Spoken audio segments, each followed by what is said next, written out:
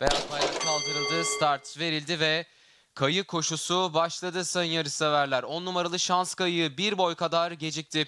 İç kulvardan 2 numaralı Dom Runner, orta kulvardan 7 numaralı Saraliva Lontana en dıştan da 8 numaralı Zephyr West öne atak yapan isimler. Bu taylardan 8 numaralı Zephyr West liderliği aldı. Farkı da bir anda 3 boya kadar çıkardı. 7 numaralı Saraliva Lontana ikincilikte. Bir boy kadar geride üçüncülüğe 6 numaralı Right the Lightning geldi. Bir boy kadar geride 2 numaralı Dom Runner. Onun bir buçuk boy kadar gerisinde 9 numaralı Selis. Bir boy kadar geride 4 numaralı Oğlumsun ilerliyor.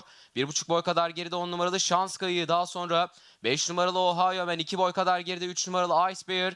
3 boy kadar geride 1 numaralı Baba Merdo sırasıyla son 600 metreye doğru ilerliyor taylar. 8 numaralı Zephyr West lider fark 2,5 boy kadar. İkincilikte içeride 7 numaralı Saraliva Lontana var. Hemen dışında 6 numaralı Right Lightning ilerliyor. 2 boy kadar geride 2 numaralı Dawn Runner. Dışında 9 numaralı Selis 1,5 boy kadar geride. 10 numaralı Şans Kayığı içinde. 4 numaralı Olumsun sırasıyla viraj dönüldü. Viraj üzerinde ortadan gelen Saraliva Lontana ve dıştan gelen Right the Lightning. İçerideki Zephyr West'i yakaladılar. Bu safkanlardan Right the Lightning liderliği aldı.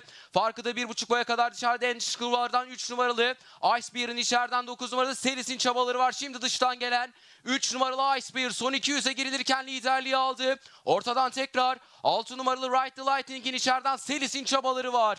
3 numaralı Icebear 1,5 boy farklı önde. Right the Lightning Selis geliyor ama Icebear yarışı kazanıyor.